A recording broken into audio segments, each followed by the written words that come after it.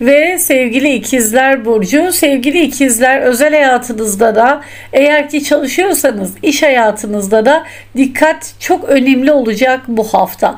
Ta ki sonraki hafta 27'sine kadar ay ikizlerde olmayacak ve ayın koçta boğada daha öncesinde balık burcunda olduğu dönemler sizin için iş sizi zorlayabilir. İş yeri sizi zorlayabilir. İş yerinin muhatapları, müdürler, patronlar sizi zorlayabilir.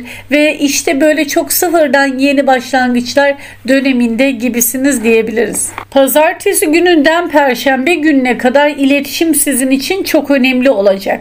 İletişim var demiyorum. Belki iletişimi kısıtlayacak bile olabilirsiniz ama pazartesiden perşembeye kadar bu dört gün iletişim çok önemli. Çok gelişmiş iletişim becerilerinizi en doğru kimselerle kurgulamak çok önemli. Yeni arkadaşlar edinmek için önemli günler, uygun günler. Yeni bir flört için eğer hayatınızda hiç kimse yoksa yeni bir sevgili için mükemmel bir dönem diyebilirim. Evet gökyüzünde malefik açılar var.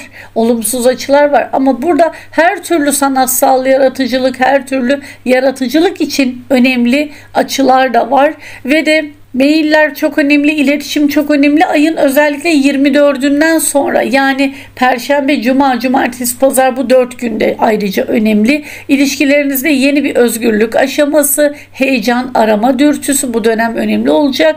İş konusunda yeni başlangıçlar, yeni bir projeye başlamak, yeni bir iş yerine başlamak gibi gündemleriniz olabilir. Bekarsanız daha önceki ilişkiler başa dönebilir. 24'ünden itibaren biz Oğlak ve Yayda gerçek gerçekleşecek Merkür Retrosu'nun etkisine yani gölgeli dönemine giriyoruz. O yüzden 24'den sonrası önemli.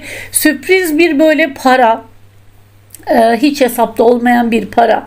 İş ortamından da gelebilir. Hiç beklemediğiniz bir borç verdiğiniz birinden de gelebilir. Ya da hiç beklemediğiniz birinden size bir destek de gelebilir. Cuma ve cumartesi özellikle finansal anlamda çok şanslısınız.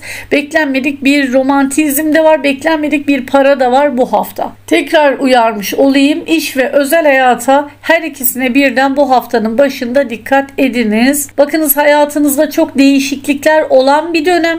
Sıklıkla değişiklikler olacak hele ki Aralık ayında. Şartlar değişecek, ilişkiler değişecek, boyut değiştirebilir ilişkiler. Dostken sevgiliye dönüşülebilir veyahut da e, evlenmek ve boşanmak konusunda çok radikal, çok hızlı kararlar alabilirsiniz. Ben pek önermem 24'ünden sonraki bir nikahı ya da en azından 12 veya 11 e, Aralık'tan önce 11 Aralık'tan önce olmasında fayda var. Hani ruhsal ve karmik yönelimli bir zaman onu söyleyeyim. Yani bu haftadan 17-18'inden itibaren e, aslında en az bir ay en az bir ay ve e, değişim çok önemli olacak. Bu dönem değişebiliyorsanız ne mutlu dönüşebiliyorsanız ne mutlu.